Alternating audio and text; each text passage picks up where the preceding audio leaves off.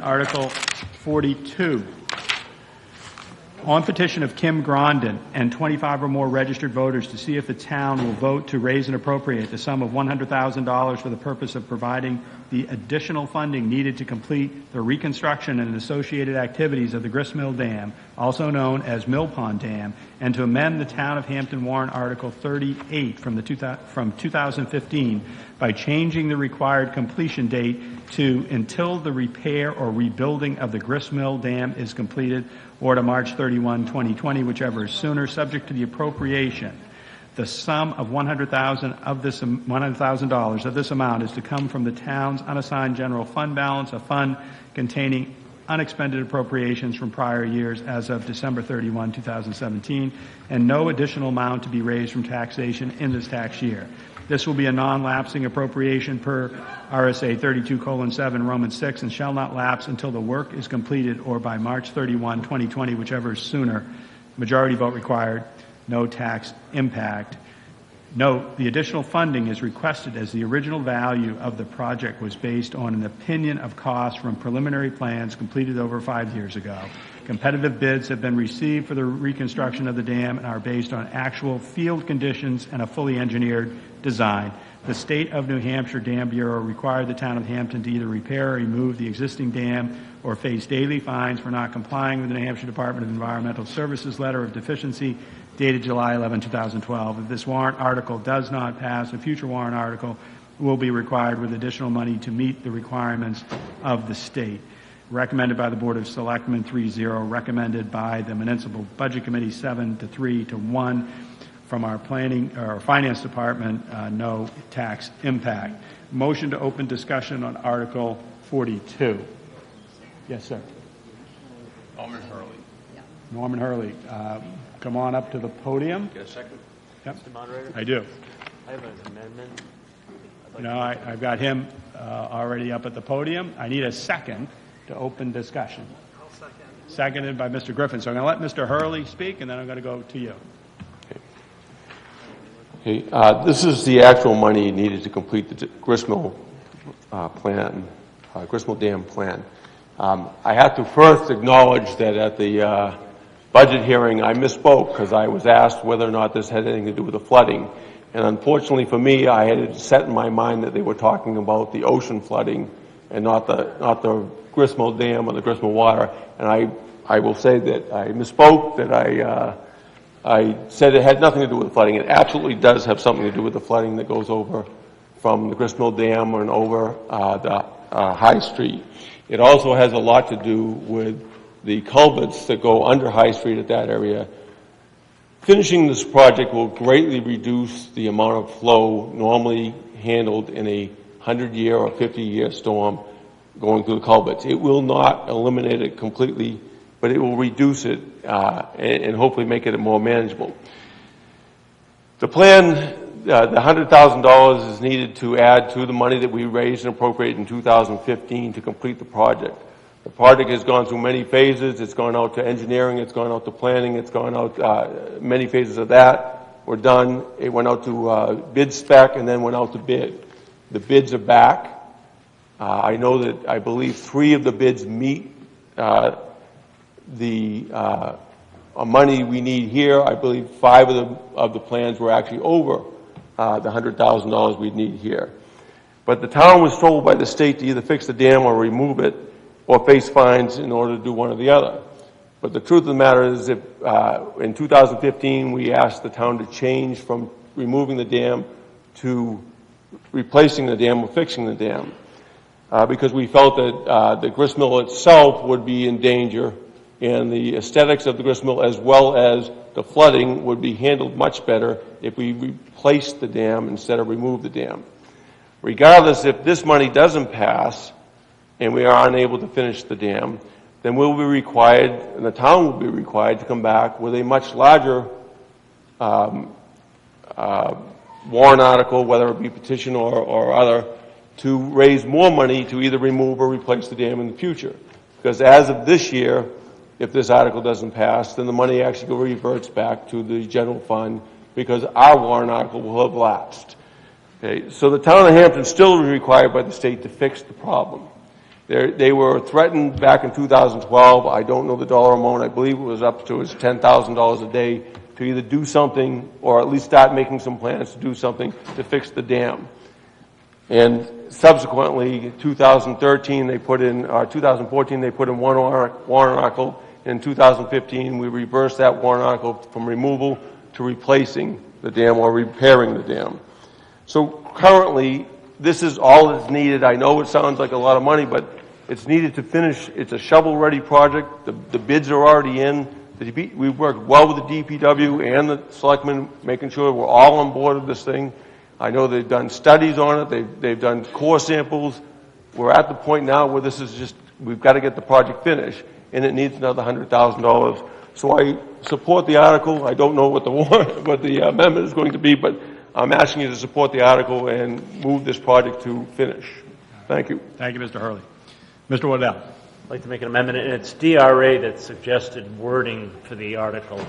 Uh, And what it's going to do is cross out in the first paragraph, uh, line one, two, three, four, and all the way down to no tax im- impact, and replace it with the sum of $100,000. This amount is to come from the town's unassigned fund balance.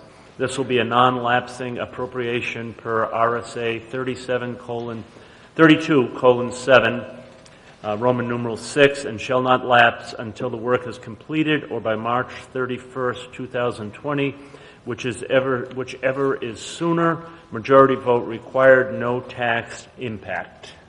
Okay, so do we have a second on the Waddell? All right, Ms. Barnes.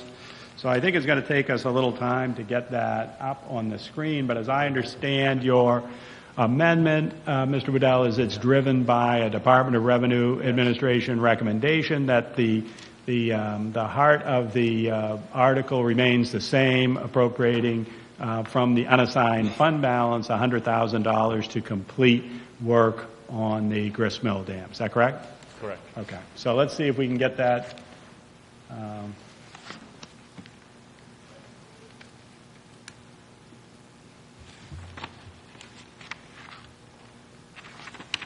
Is that everything we needed to do, or are you still, okay? All right. Um, Ms. Woolsey, we have an amendment up. That's really our only discussion. It's a housekeeping one. I'd ask you to yield so I can go out to the body and just have this amendment uh, uh, grafted on.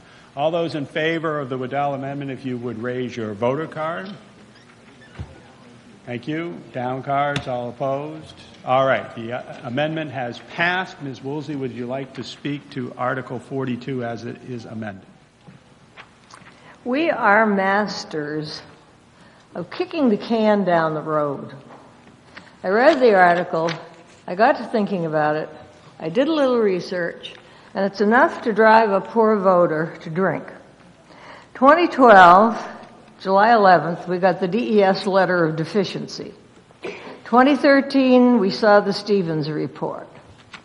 Article 15 in 2014, 400,000 to decommission the dam. That passed, 2,128 to 808. So far, so good. Article 16, same year, appropriated 235,000 with 147,500 offsetting revenues. That passed 23, 200 and, let's see, 2320 to 612. The lapse date for both of those, decommission and do the culvert, is March 31st this year. But then we come to 2015, Article 38, to rescind the 400,000 from Article 15 and raise and appropriate 650,000 for repair or rebuilding the dam with 400,000 from the unassigned fund balance. That was yes 1205 and no 1199. So there was a sixth vote margin there. Still nothing is done. 2016, Article 20, raise and appropriate 147,500, replace the outfall culvert below the dam on High Street, etc. I've about had it. Either we need to do something or not. Number one, that is wetland. all behind the dam, which is why you have a dam and a pond and stuff. I understand del- developers are looking for land back there. The last thing on God's green earth we need is a development stuck back in there. We absolutely need a culvert. We have needed a culvert for a long time under High Street and across the road.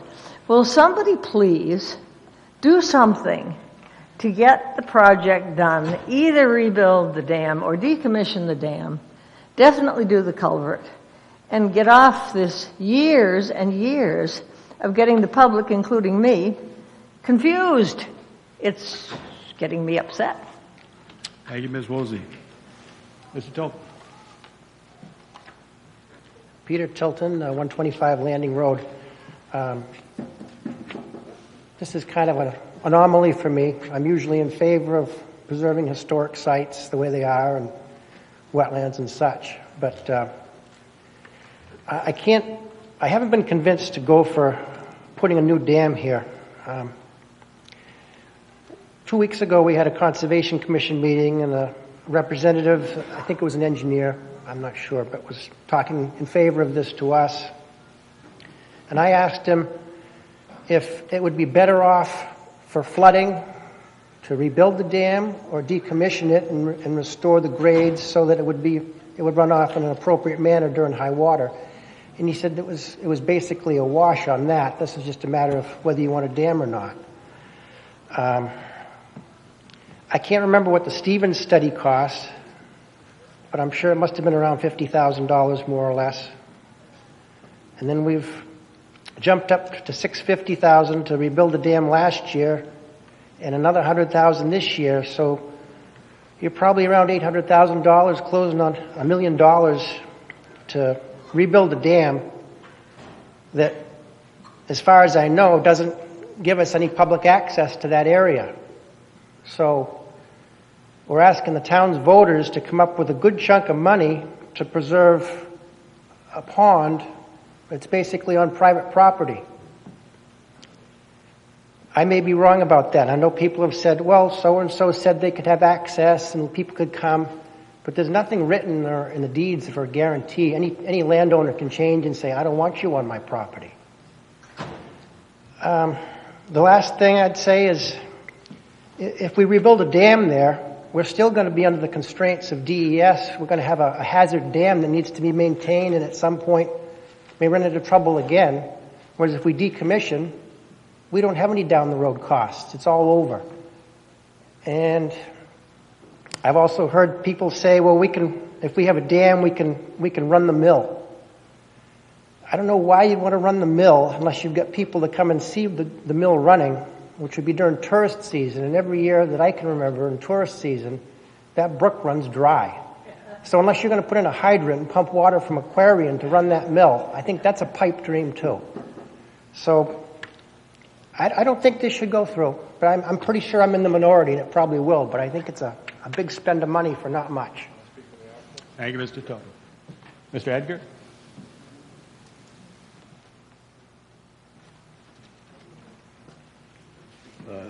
Mike Edgar, Hampton. Well, I'm not sure where to start on this, but uh, I guess I'll start by saying I'm definitely in favor of, uh, of doing this. And let's get it done. It's ready to go. It's been engineered 100% now. We've done the borings. We know what's there finally.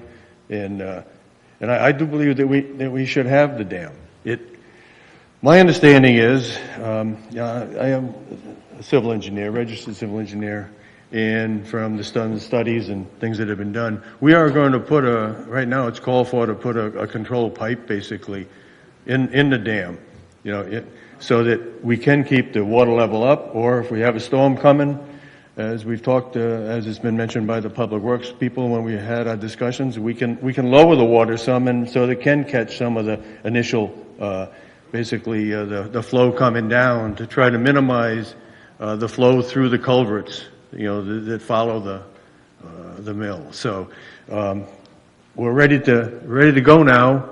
Uh, it's been a while. It has been, uh, it's been torturous for, especially for the people that have been involved with it for several years. I haven't been, uh, for the whole time, but I have been, uh, you know, for the last couple of years. And, uh, and there is much of a, uh, a hurry to get it done as everybody else. One thing, if we don't have the dam, then we won't be able to do something later on with the mill. There's only a few things we have left in town. Most stuff's get tore, has got torn down. Uh, we do have the blacksmith shop, and hopefully that will go through, so we can continue to make that better. Uh, but the, uh, the mill is one of the few things we do have left. Let's, uh, try to have that area be the best it can be. So as I said, uh, I'm in favor of it. Thank you. All right. Thank you, Mr. Edgar. Yes, Mr. Griffin. I'd like to say that I'm very much in support of this. This has been going on for a long time. There's been a lot of people have spent a lot of time, and uh, we've seen uh, what happens when um, private developers tried to go in there. And it's a controversial area, but this is one of the oldest structures in Hampton, the grist mill, and I'm very much in favor of keeping this going and making it safe for everyone that lives around there. Okay. All right. Thank you, Mr. Griffin. Um, Is there anybody else wishing to be heard, or do you, you want to wrap things up first, us, Mr. Hurley? You, you started it, so you can finish it, and then I know we have our eighth grade students with us. There you go. who Have um, the results of the, uh, the drawings. Just to address a couple issues that were brought up. One is that this will give us a lot more control both over water flow um, in, in a 100-year storm and sediment flow into the Meadowbrook Pond area as well, which would, which possibly would help with some of their issues down there. But this is no longer asking for an additional 650. It's asking for 100,000 to come from the fund balance because we're still required. But without finishing this project, this will cost us well over the 650 or the 750 that is now at, even just to decommission the dam. It's not a, it's not a choice that, you know, if we don't, if we decommission, it's going to be a lot less expensive. That's not the truth. The truth of the matter is, even decommissioning it now will require more because of some of the uh, information that came out of core studies. They would have to go further back into the silts. They would have to take the silts out from the middle of the pond that's there on the Gristmill Pond. It would require as much work as it is to rebuild the thing at the same expense, and the state still requires the town to do something. Thank you. Thank you, Mr. Hurley. All right. We're going to have um, concluded Article 42. Before we move to Article 43,